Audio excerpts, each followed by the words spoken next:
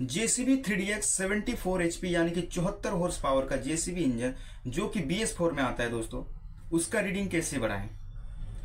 अभी का सबसे ज़्यादा सर्च किए जाने वाला टॉपिक है। यूट्यूब पे अगर आप जाएँगे तो सबसे ज़्यादा इसी टॉपिक के ऊपर सर्च करते हैं लोग कि JCB three D X seventy four HP का रीडिंग कैसे बढ़ाएँ कैसे बढ़ाएँ कैसे बढ़ाएँ। क्योंकि अभी तक किसी ने इसके बारे में अच्छी तरीके से फुल डिटेल के साथ किसी ने बताया नहीं है। दोस्तों, इसका कारण भी है। कारण ये है दोस्तों कि अभी जो 74 फोर का, यानी कि चौहत्तर हॉर्स पावर का जो मशीन निकल रही है नए नए उसमें काफ़ी चेंजिंग कर दिया है। कंपनी वाले के द्वारा काफ़ी उसमें चेंजिंग किया है पार्ट्स को चेंज किया है मॉडिफिकेशन थोड़ा बहुत कर दिया है फीचर ऐड किया है नया नया फीचर उसमें ऐड किया है। और सबसे बड़ा जो प्रॉब्लम है दोस्तों, उसमें सेंसर सिस्टम कर दिया है इलेक्ट्रॉनिक सिस्टम कर दिया है, जिससे काफ़ी ऑपरेटरों को उसमें परेशानी का सामना करना पड़ता है और लोग डरते हैं उसे छेड़छाड़ करने से कि कहीं हम उसे छेड़छाड़ कर दे तो कुछ प्रॉब्लम ना आ जाए। काफ़ी लोगों का कमेंट है, काफ़ी लोगों का सवाल आ रहा था कि भाई इसके ऊपर एक वीडियो बना के बताइए कि हम रीडिंग कैसे बढ़ाएँगे। तो दोस्तों देख सकते हैं यहाँ पे स्क्रीन पे यहाँ पे काफ़ी सारा कमेंट है। ऐसा ही हमारे पास काफ़ी सारा कमेंट आ रहा था बार बार तो हम सोचे चलो एक वीडियो बना देते हैं। तो दोस्तों 49 एचपी का रीडिंग बढ़ाने के लिए तो हमने ऑलरेडी चैनल पे अपलोड कर दिया है। आपको डिस्क्रिप्शन में उसका लिंक दे दूँगा, वहाँ से आप देख सकते हैं। लेकिन 74 एचपी का जो आपका प्रॉब्लम है, उसके बारे में आज हम बात करेंगे।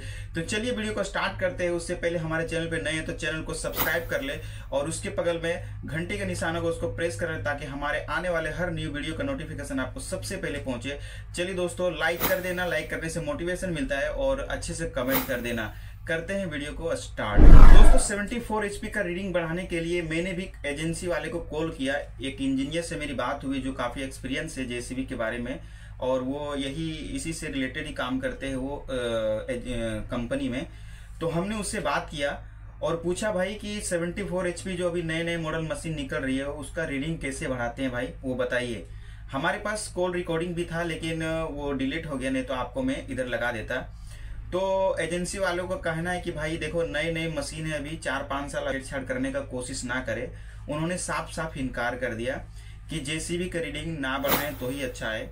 इसका कारण हमने पूछा तो उन्होंने बताया कि अगर आप जेसीबी का रीडिंग बढ़ाते हैं तो पहले हमने बता दिया भाई आप लोगों को कि इसमें काफ़ी सेंसर सिस्टम और इलेक्ट्रॉनिक सिस्टम कर दिया है, जिससे आप कहीं भी कुछ छेड़ते हैं तो सबसे पहले एजेंसी वाले को और जो जेसीबी का ओनर होता है, उनके पास आपका उसका नोटिफिकेशन जाता है कि ऑपरेटर मशीन के साथ कुछ छेड़छाड़ कर रहा है।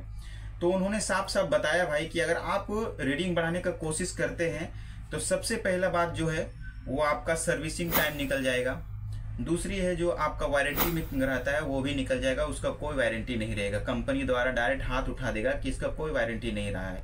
या तो फिर सर्विसिंग के लिए जो लोग भेजते हैं तो वो नहीं भेजेंगे। अब इसमें आप लोग सवाल करेंगे कि ये ऐसा क्यों होता है? तो चलिए दोस्तों, आपको हम इसके बारे में सही जानकारी बताते हैं कि क्यों ऐसे नहीं बढ़ाने देता है।